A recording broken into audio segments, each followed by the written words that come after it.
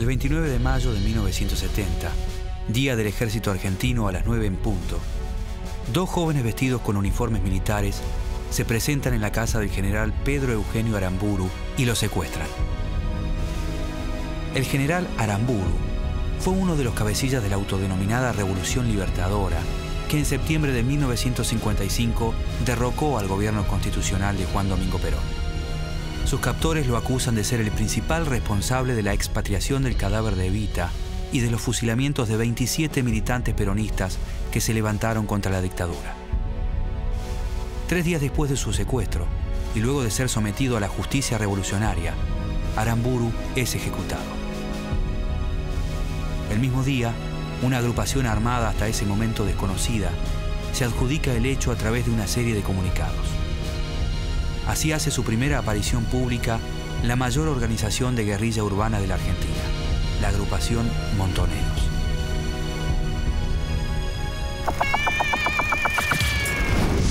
Las Fuerzas Armadas produjeron la única respuesta posible. No hay enemigo pequeño ni fuerza desdeñable, porque ya no hay pueblos aislados. La historia de la organización político-militar Montoneros comienza dos años antes de su primera aparición pública. Nace de la confluencia heterogénea entre militantes de la Iglesia tercermundista, sectores del nacionalismo católico y comandos del peronismo revolucionario. El cristianismo revolucionario influye en forma decisiva en Montoneros. Su origen se remonta al Concilio Vaticano II, convocado por Juan XXIII entre 1962 y 1965, que promueve una mayor apertura y renovación de la Iglesia frente a las necesidades y problemáticas del mundo contemporáneo. Impulsados por los nuevos aires que llegaban al catolicismo con las reformas de Juan XXIII, en 1967 aparece el movimiento de sacerdotes para el tercer mundo. Sus miembros sostienen la necesidad de comprometer a la Iglesia con la lucha y con la causa de los explotados. Esta posición tiene su protagonismo más alto en la Conferencia del Episcopado Latinoamericano que se lleva a cabo en 1968 en la ciudad de Medellín, Colombia. Durante aquel encuentro toma fuerza la teología de la liberación, concepto que sintetiza el carácter político de la Iglesia tercermundista. La tarea de la iglesia siempre debe ser la misma, debe ser ser fiel, seguir fielmente las enseñanzas de Jesucristo, que vino a evangelizar a todos los hombres, pero que siempre se movió porque él era pobre desde los pobres. Por lo tanto, la misión de la iglesia debe ser anunciar a todos los hombres que son hijos de Dios, que tienen que luchar por su dignidad de seres humanos. Por lo tanto, acompañar al pueblo en la lucha por la liberación nacional e interpelar a los ricos, a los poderosos. En Argentina, este movimiento se encarna en las figuras del padre Carlos Mujica y del intelectual y periodista Juan García Elorrio. Mujica es un sacerdote jesuita proveniente de una familia de clase alta que ha optado políticamente por el peronismo, al que asocia con la causa de los pobres. En el Colegio Nacional de Buenos Aires, donde es miembro de la pastoral, conoce a varios de los futuros miembros de Montoneros como Fernando Abal Medina, Carlos Gustavo Ramos y Mario Firmenich, todos militantes de la Juventud Estudiantil Católica. El padre Mujica se convierte en consejero espiritual de la agrupación y su interpretación del cristianismo influye de manera decisiva en muchos jóvenes católicos y en su posterior elección por el peronismo. El periodista Juan García Elorrio es otra personalidad que tiene gran influencia en los primeros montoneros. Es un ex seminarista admirador del cura guerrillero Camilo Torres, asesinado en Colombia en 1965 fundador de la revista Cristianismo y Revolución, García Elorrio lleva adelante desde esa publicación la línea más radicalizada dentro del catolicismo tercermundista de la Argentina, promoviendo también el acercamiento al peronismo revolucionario de John William Cook. Cook había sido diputado durante el primer gobierno peronista y profesor de la Universidad de Buenos Aires hasta el golpe de Estado de 1955. Desde el exilio, Perón lo designa como su representante y líder de la resistencia peronista. Cook considera que el justicialismo debe transformarse en un movimiento revolucionario y busca separar de su seno al sindicalismo más permeable a negociar con los militares. En 1960 viaja a Cuba, donde conoce a Fidel Castro y a Che Guevara. La imagen de lo que se puede conseguir mediante la lucha revolucionaria, la esperanza de un mundo mejor, La imagen por la cual vale la pena arriesgar la vida, sacrificarse hasta la muerte en los campos de batalla de todos los continentes del mundo. En 1967, la muerte del guerrillero Ernesto Che Guevara en la selva boliviana, mientras intentaba propagar la revolución hacia todo el continente, lo convierte en un símbolo para los jóvenes idealistas de todo el mundo. Ese mismo año, dos de los miembros fundadores de Montoneros viajan a Cuba a recibir adiestramiento militar. En Argentina se organiza el Comando Camilo Torres, integrado por una treintena de jóvenes y cuyo líder espiritual es García Elorrio. Con la incorporación de nuevos militantes, la mayoría provenientes de Córdoba, se dividen en células al estilo de los grupos de la resistencia europea contra los nazis y comienzan a perfilarse decididamente sus ideales peronistas.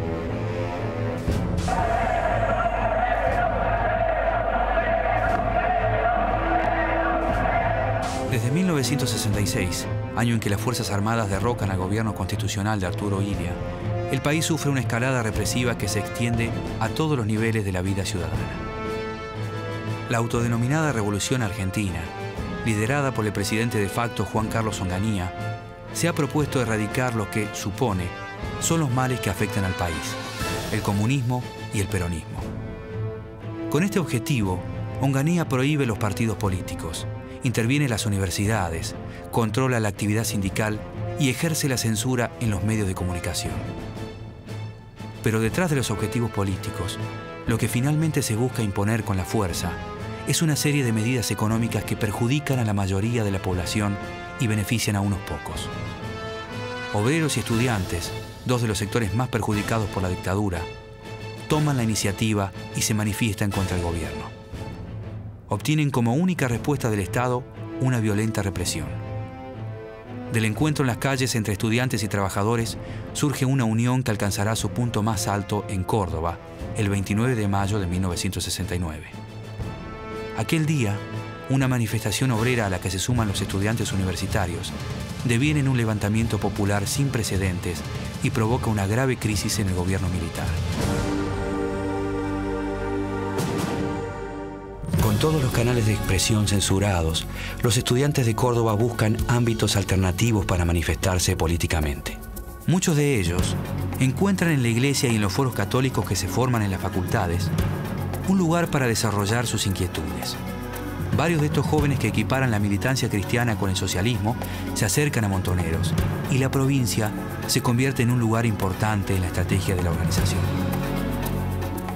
Efectivamente, aparecen acá las presuntas fisonomías de los dos los secuestradores de Aramburu.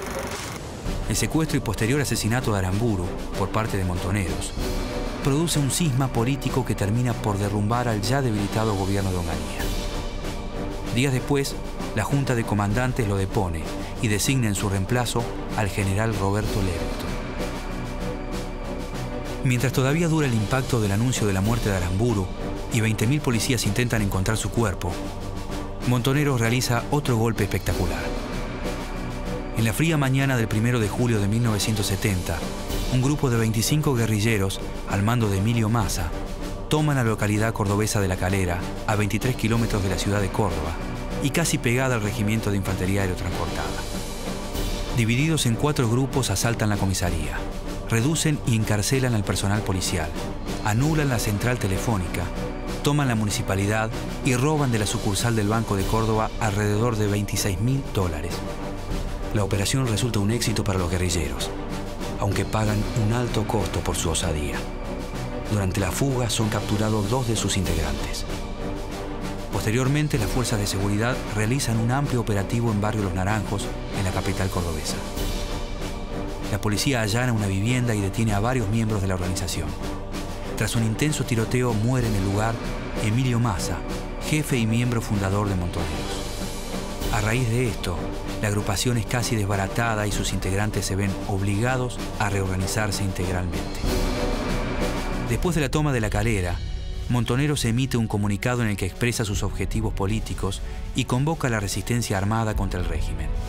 Compañeros, los hombres y mujeres que componemos los Montoneros, brazo armado del movimiento peronista, hemos asestado un golpe a la oligarquía gorila ocupando militarmente la localidad de La Calera y recuperando armas y dinero que serán destinados a la lucha. Solo peleando conseguiremos recuperar lo nuestro. Los montoneros llamamos a la resistencia armada por una patria libre, justa y soberana con Perón en la patria. Los últimos meses del año 1970, con unos pocos integrantes en actividad, Montoneros se las arregla para hacer algunas incursiones en la provincia de Córdoba y recaudar pequeñas sumas de dinero. Primero ingresan al edificio del Jockey Club, símbolo de la oligarquía cordobesa. A los pocos días toman una estación de ferrocarril y roban lo recaudado en las boleterías. En pleno centro de la ciudad, asaltan la sede central del Correo Argentino, hecho que deja en ridículo a la policía provincial. Con estas acciones exitosas, pero de poca importancia militar, la organización se mantiene activa obtiene recursos financieros, armas y documentación. Pero en medio de esta campaña, Montoneros recibe otro duro golpe. Los dos que caen muertos en el procedimiento. Confirmado entonces que se trata de Abal Medina y de Ramos. Sí, efectivamente, están confirmados y ya por en forma oficial que se trata de Abal Medina y de Ramos. Estas evidencias más la muerte de Abal Medina y de Ramos y la detención de uno de los individuos que participaban o integraban esta célula, prometen ahora de una manera muy concreta el total esclarecimiento del secuestro y el asesinato del teniente general Aramburu. Al finalizar el año, el balance para Montoneros parece ambiguo. Si bien la mayoría de sus integrantes han caído en enfrentamientos con la policía o están en prisión, los resultados obtenidos son políticamente favorables. Mediante el asesinato de Aramburu y la toma de la calera, Montoneros ha conseguido más publicidad que cualquier otra organización guerrillera en actividad y ha logrado posicionarse públicamente de manera contundente. Con estas acciones espectaculares, logran llamar la atención y captar de alguna manera el imaginario popular.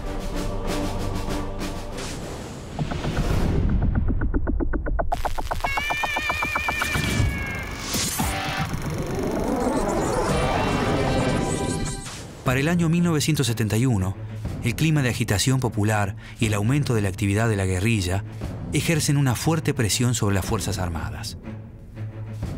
En marzo de ese año, se produce en la ciudad de Córdoba un nuevo levantamiento popular en donde las organizaciones armadas participan abiertamente. Conocido como el Viborazo, este suceso obliga al general Roberto Livingston a renunciar a la presidencia. En su lugar asume el general Alejandro Lanusse, verdadero hombre fuerte de la Junta de Comandantes y el único jefe militar que a esa altura parece alcanzar la envergadura política que se necesita para negociar una salida democrática a la grave crisis de gobierno. A pocos días de su asunción, Lanuse legaliza la actividad de los partidos políticos y anuncia una próxima convocatoria a elecciones. Las condiciones de la salida democrática se establecen en el llamado Gran Acuerdo Nacional, un espacio de negociación que en principio incluye a la mayoría de los partidos políticos, pero que finalmente se convierte en una disputa personal entre Lanuse y Perón. Desde el exilio en España, Perón ha renovado su discurso alcanzando el carácter de mito viviente y convirtiéndose en un referente para gran parte de las nuevas generaciones con inquietudes políticas. Con el correr de los meses, la movilización popular se identifica cada vez más con el peronismo y el viejo líder vuelve a ocupar el centro de la escena política.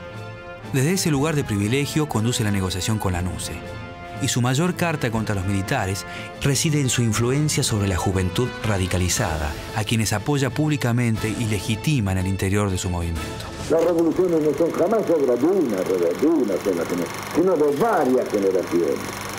La gente joven tomará ahora nuestras banderas y las llevará al triunfo. En noviembre de 1971 reemplaza a su delegado personal Daniel Paladino, propenso a negociar a sus espaldas, por Héctor Cámpora, cuya mayor virtud es la total subordinación al líder. El nuevo delegado es el encargado de integrar en el movimiento a los jóvenes que tomaron las banderas del peronismo y encuentra en ellos el respaldo que le niegan las viejas estructuras partidarias.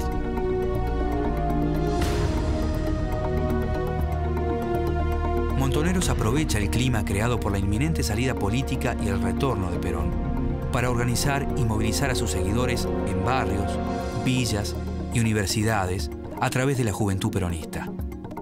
Esta rama partidaria se convierte en el principal vehículo de masas de montoneros, lo que les otorga una dinámica social agitadora e impensable para una organización guerrillera. En 1972, mientras Cámpora lleva adelante los acuerdos para formar un frente amplio con vistas a las elecciones, Perón incluye en su comando estratégico al dirigente más notorio de la juventud peronista, Rodolfo Galimberti, y nombra como secretario del partido a Juan Manuel Abal Medina, hermano del ex líder montonero. En pocos meses, Montoneros experimenta un crecimiento sorprendente a través de su vínculo con la juventud peronista. Sus actos y movilizaciones se convierten en un factor de presión para el retorno de Perón. A mediados de año, la NUCE hace pública una cláusula de proscripción que los inhibe, tanto a él como a Perón, para presentarse como candidatos a presidente y convoca elecciones para el 11 de marzo de 1973. En noviembre de 1972, Perón regresa momentáneamente al país después de un exilio de más de 17 años. Durante su estadía en Buenos Aires, organiza el Frente Justicialista de Liberación, alianza partidaria con la que se presentará en las elecciones y designa como candidato presidencial a Héctor Cámpora. Esta decisión representa un duro golpe para los sectores ortodoxos del peronismo y un respaldo contundente para la juventud del partido que rodea al delegado de Perón.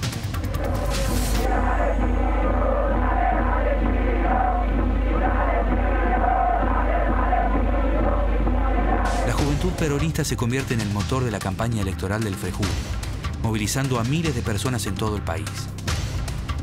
En marzo de 1973, luego de una intensa campaña electoral, el Frejuli gana las elecciones con casi el 50% de los votos. El 25 de mayo de 1973 asume como presidente Héctor Cámpora. Durante la ceremonia están presentes el chileno Salvador Allende y el cubano Osvaldo Dorticós, presidente de los dos países socialistas latinoamericanos. En las calles, el retorno a la democracia se vive en un clima de fiesta y euforia. La sociedad movilizada sobrepasa a la policía y a las Fuerzas Armadas, quienes deben retirarse a los cuarteles ante la presión de la gente. En Plaza de Mayo los carteles de Montoneros se destacan sobre el resto y miembros de la organización terminan haciéndose cargo de la seguridad del acto. Luego del discurso de Cámpora, una multitud se dirige hacia la cárcel de Devoto para pedir la liberación de los presos políticos. Esa noche, bajo presión de la juventud peronista, el nuevo presidente firma un decreto de amnistía que incluye a los miembros de todas las organizaciones armadas. Bueno, la guerrilla, como todo el mundo sabe, la lucha armada es el más alto nivel de lucha política, ¿no es cierto? Es decir, depende de las circunstancias políticas y de que uno tenga un enemigo a quien combatir. Eh, el aparato del Estado no es intrínsecamente un enemigo. Cuando el aparato del Estado está en manos populares, muy lejos de ser un enemigo, es el objetivo que se ha perseguido. En el nuevo gabinete, la izquierda peronista ocupa importantes espacios de poder y cuenta con el apoyo de los gobernadores de varias provincias como Buenos Aires, Córdoba y Mendoza. Pero una vez instalado el peronismo en el gobierno, reaparecen con fuerza las diferencias internas. Estas se reflejan en los enfrentamientos entre la izquierda peronista, representada por montoneros y sus aliados, incluido gran parte del sindicalismo combativo, y la derecha, representada por los sectores más ortodoxos y conservadores del movimiento. Si bien Montoneros y otros grupos guerrilleros no peronistas como el ERP han hecho un alto provisional en la lucha, la intensa movilización de la juventud peronista crea un clima que algunos medios describen como vacío de poder. La ocupación de edificios públicos genera una sensación de crisis de autoridad que se vuelve incompatible con el proyecto de estabilidad política ideado por Perón. Las tensiones en el interior del peronismo se agudizan y el 20 de junio de 1973, día en que Perón regresa definitivamente a la Argentina, el conflicto estalla. En los alrededores del aeropuerto de Ceiza se prepara un acto de bienvenida para recibir al líder. La organización y la seguridad del acto están a cargo de la derecha del movimiento, liderados por el ministro de Bienestar Social José López Rega, pero cuyas caras visibles son el coronel Jorge Osinde, la dirigente Norma Kennedy y los líderes sindicales José Rucci y Lorenzo Miguel. La izquierda peronista y la derecha sindical pugnan por lograr el lugar más cercano al palco de honor. La tragedia no tarda en llegar. Más de mil hombres pertenecientes a la UOM, la Juventud Sindical y otros sectores reaccionarios del peronismo se encargan de custodiar el palco. Hacia allí se dirigen las columnas de FARC, Montoneros, la JP y otras organizaciones pertenecientes a la tendencia revolucionaria. Francotiradores apostados en el palco y en las proximidades comienzan a disparar a las columnas que se acercan y generan enfrentamientos armados que tiñen de sangre la jornada. Al final del día, las diferencias irreconciliables entre la patria socialista y la patria peronista quedan definitivamente desenmascaradas. El 13 de julio, acosado por las tensiones dentro del propio gobierno y la guerra declarada entre derecha e izquierda, Cámpora renuncia. En su lugar asume Raúl Lastiri, presidente de la Cámara de Diputados y yerno de José López Rega. La renuncia de Cámpora le permite a Perón presentarse por tercera vez como candidato a presidente. Aunque la izquierda se opone, la presión del sindicalismo ortodoxo logra imponer como compañera de fórmula a la esposa de Perón, María Estela Martínez, Isabelita. La derecha gana terreno rápidamente. El 23 de septiembre de 1973, la fórmula Perón-Perón triunfa con casi el 62% de los votos. Apenas dos días después, José Rucci es acribillado en un atentado anónimo atribuido a Montoneros. Esto enrarece el clima de violencia política y enfurece a Perón, que comienza a distanciarse decididamente de la organización revolucionaria. Algunos dicen que, fin, que quieren una revolución violenta. Bueno, yo no sé cómo se puede arreglar una economía de un país que recibimos nosotros con 7 mil millones de dólares de deuda externa y 3 billones de pesos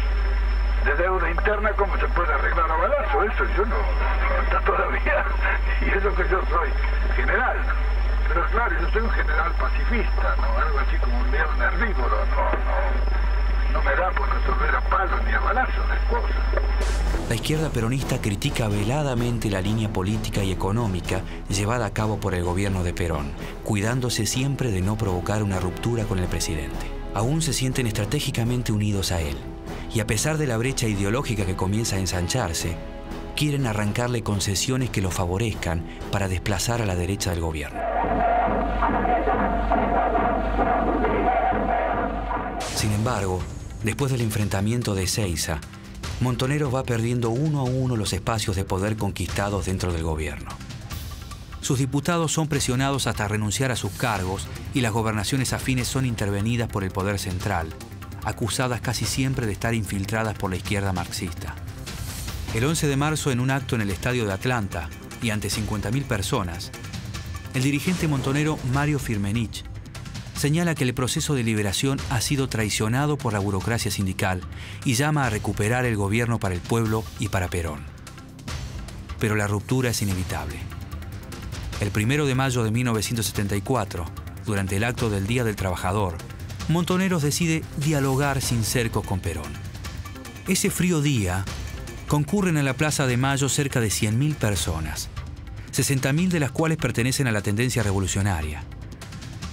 Al salir al balcón de la Casa Rosada, el líder se encuentra con una multitud identificada con montoneros que corea consignas contra las organizaciones sindicales de la derecha y contra Isabelita. 21 años en este mismo balcón y con un día luminoso como el de hoy, hablé por última vez a los trabajadores argentinos. Fue entonces cuando les recomendé que ajustasen sus organizaciones porque venían días difíciles. No me equivoqué, ni en la apreciación de los días que venían, ni en la calidad de la organización sindical que a través de 20 años, pese a estos estúpidos que gritan, las organizaciones sindicales mantenido inconmovibles. Y hoy resulta que algunos imberbes pretenden tener más mérito que durante 20 años. Las palabras del viejo líder son recibidas como una declaración de guerra por montoneros, que habían visto caer a sus compañeros por Perón. La dura respuesta de Perón provoca que la tendencia se retire de la plaza y la deje semi vacía. La compleja relación entre el líder y los montoneros se ha roto definitivamente. Dos meses más tarde, el primero de julio, a los 78 años de edad, Perón muere. El poder queda en manos de Isabel y de su ministro de Bienestar Social, López Rega, que intensifica los ataques de la organización terrorista AAA hacia militantes de la izquierda, peronista y no peronista. A finales de 1975, los comandos de la AAA han cometido alrededor de 1.500 crímenes. Los montoneros, principal blanco de la organización paramilitar, el 6 de septiembre, luego de una conferencia de prensa, pasan a la clandestinidad. La retirada estratégica o defensiva llevada a cabo por los montoneros incluye ataques contra la AAA y las fuerzas de seguridad, en los que asesinan a uno de sus jefes, el comisario Alberto Villar, y posteriormente a varios jefes policiales acusados de represores y torturadores. También llevan adelante secuestros a empresarios, algunos de ellos en operaciones espectaculares, como el de los hermanos Born, por el que obtienen un rescate millonario. Para 1975, la espiral de violencia se encuentra en su punto más alto. En el plano político y económico, el gobierno de Isabel no encuentra nuevas recetas para la crisis y nombra a Celestino Rodrigo como ministro de Economía. Este implementa un feroz plan de ajuste, el Rodrigazo, cuyo fracaso lleva finalmente a la caída de Isabel. Mientras tanto, López Rega huye del país. Los montoneros, víctimas de su paso a la clandestinidad y de su creciente militarización, quedan aislados de sus organizaciones de superficie. Luego del sangriento golpe de Estado de 1976, la organización sufre la persecución y el exterminio de la mayoría de sus cuadros políticos y militantes. A pesar de que durante un tiempo siguen funcionando células clandestinas en el país, muchos otros logran exiliarse, entre ellos sus jefes máximos, quienes forman en Roma el Partido Peronista Auténtico. Entre 1979 y 1980 organizan la contraofensiva, que será un desastroso intento de retorno. Durante este operativo son secuestrados y desaparecidos cientos de cuadros guerrilleros. Esto acelera la desintegración de la organización, que para 1980 sufre su desaparición definitiva como organización político-militar. De aquella guerrilla romántica e idealista que había movilizado a miles de jóvenes para traer a Perón del exilio e instaurar la patria socialista, quedaba solamente una cúpula aislada, sesgada por el militarismo. Pero el final de Montoneros había comenzado mucho antes. Aquel día en que el líder en quien habían depositado toda su fe les dio la espalda y perdieron el sustento y la representación con que habían legitimado su lucha.